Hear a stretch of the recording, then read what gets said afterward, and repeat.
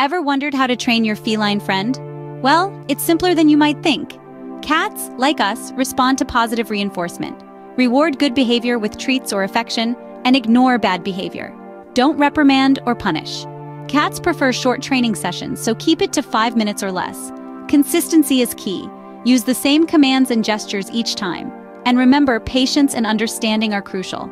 Cats have their own unique personalities and temperaments. Training isn't just about tricks. It's also about creating a bond with your furry companion. So why not give it a try?